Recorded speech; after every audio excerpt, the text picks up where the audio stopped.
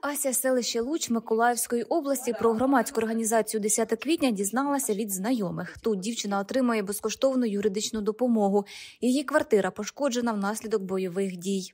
Оккупанты нас сильно обстреливали, и один из снарядов попал прямо к нам в подъезд. Он разорвался с такой силой, что до третьего этажа у нас упал лестничный пролет.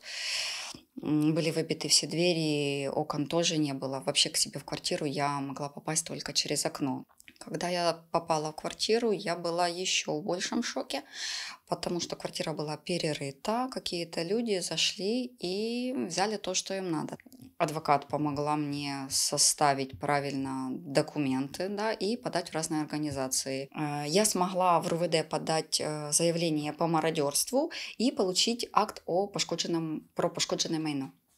Юристка громадської організації Вікторія говорить, найчастіше люди звертаються саме з питанням про пошкоджене майно.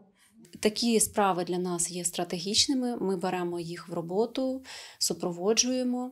Крім цього, людям допомагають відновити документи. Не лише пошкодженим майном- займається громадська організація. Ми допомагаємо з відновленням документів, не лише персональних е, паспортних документів, це можуть бути документи на майно, яке постраждало. Це може бути документи про певний статус, там про інвалідність, пенсійне посвідчення, будь-які документи, які людина не може самостійно відновити. Звертаються люди із за психологічною допомогою, особливо жителі окупованих сіл, які тимчасово проживають в Миколаєві. Психологиня Ірина говорить, для таких людей проводиться ряд психологічних процедур. Всі ми знаємо, що є гормон кортизол, а це гормон стресу.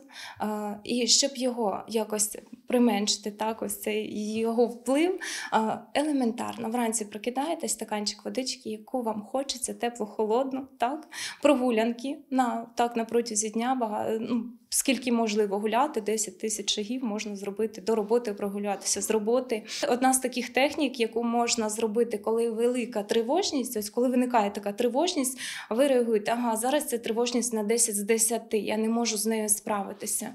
Це крила бабочки. Так? Ми робимо ось так. 24 рази.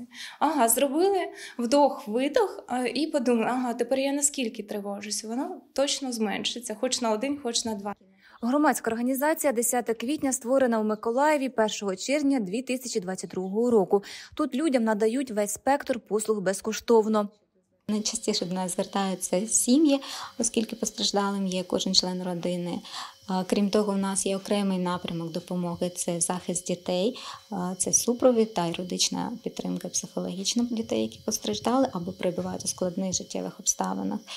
За словами Ганни Косяк, найчастіше люди телефонують на гарячу лінію. В день може бути від 10 до 20 дзвінків з різних питань. Ніна Булах, Юрій Руденко, Суспільне новини, Миколаїв.